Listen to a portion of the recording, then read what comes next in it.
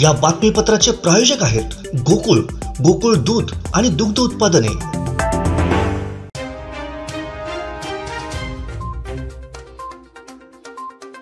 भाजपनं कोकण शिक्षक मतदारसंघात पहिल्यांदाच आपला उमेदवार थेट दाखल करत या निवडणुकीत उडी घेतली आहे. महाराष्ट्र राज्य शिक्षक परिषदेशी थेट युती भाजपनं तोडत शिंदे गटाचे ज्ञानेश्वर म्हात्रे यांना भाजपमध्ये घेत थेट उमेदवारी दिली आहे. याबाबतची अधिकृत घोषणा महाराष्ट्राचे उपमुख्यमंत्री देवेंद्र फडणवीस यांनी केली आहे. यामुळं अनेक वर्ष कोकण शिक्षक व पदवीधर मतदारसंघात राहिलेले महाराष्ट्र राज्य शिक्षक परिषद व भाजपची अनेक वर्षांची युती यामुळं संपुष्टात आली आहे. औरंगाबाद जिल्ह्यातील संभाजीनगर कन्नड इथल्या साने गुरुजी विद्यालयातील दोन विद्यार्थी रायगड जिल्ह्यातील काशीत समुद्रात बुडाल्याची घटना घडली आहे. यापैकी एका विद्यार्थ्याचा मृतदेह सापडला असून दुसऱ्या मुलाचा कसून शोध सुरू आहे. समुद्रात एकूण पाच जण बुडाले होते. त्यापैकी तीन जणांना वाचवण्यात यश आलंय. तर एकाचा मृत्यू झालाय. दुसरा अद्यापही बेपत्ता आहे. जवळपास गेल्या सहा महिन्यांपासून सर्वोच्च न्यायालयात प्रलंबित असलेल्या ठाकरे विरुद्ध शिंदे गटातील सत्ता संघर्षाच्या प्रकरणाची मंगळवारी सर्वोच्च न्यायालयात सुनावणी होते.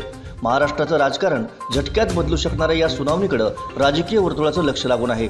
सत्ता संघर्षाच्या या सुनावणीपूर्वी ठाकरे गटाचे खासदार संजय राऊत यांनी आपल्या नेहमीच्या शैलीत एक शेर ट्विट केलाय मन में हमेशा जीत की आस होनी चाहिए नसीब बदले या ना बदले वक्त जरूर बदलता है अशा आशयाचा हा शेर आहे.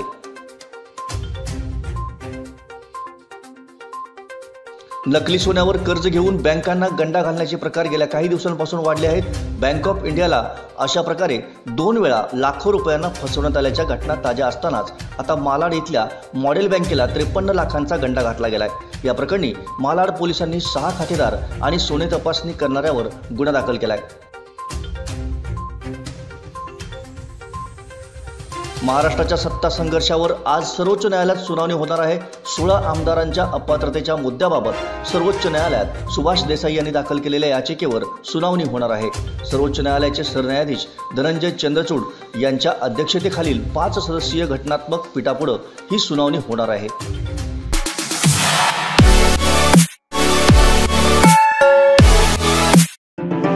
या बातमीपत्राचे प्रायोजक होते गोकुळ गोकुळ दूध आणि दुग्ध उत्पादने.